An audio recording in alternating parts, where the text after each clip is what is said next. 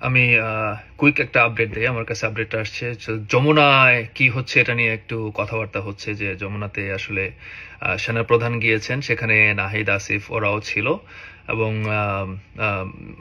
গুজব ঠিক বলা যাবে না। আসলে ঘটনা যেটা হয়েছে, যেটা আমার কাছে তথ্য আসলো যেটা, সেটা হচ্ছে যে আজ আমি একটু পরে শোনাই। আজ রাষ্ট্রীয় অতিথি ভবন যমুনার প্রধান উপদেষ্টা ইউনুসের সাথে মান্যবর সেনা প্রধান ও ঊর্ধ্বতন সামরিক কর্মকর্তাদের বৈঠক চলাকালীন সময়ে উপদেষ্টা নাহিদ ও আসিফ এগিয়ে এসে এক সেনা কর্মকর্তার দিকে আঙ্গুল তুলে বললেন আমরা কে তা এখনও টের পাননি। এদেশে আঠারো কোটি মানুষ আমাদের নির্দেশ মেনে চলে, কথাবার্তা বলার সময় সংযুক্ত থাকুন।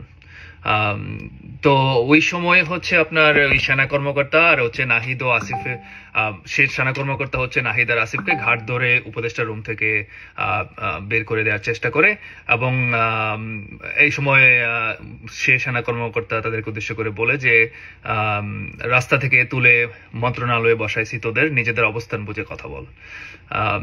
তো এই সময় আর সেনাপ্রধান যিনি ওয়াকা সাহেব, তিনি হচ্ছে যে উভয় পক্ষকে আসলে শান্ত করার চেষ্টা করেছেন এবং শুধু তাই না এই সময়ে নাহিদ আর আসিফকে তিনি সতর্ক করেছেন এই বলে যে, পায়ের নিচে এক ফোঁটা মাটি নেই তোমাদের, আমাদের দয়া কিছুদিন এসির বাতাস খাচ্ছ।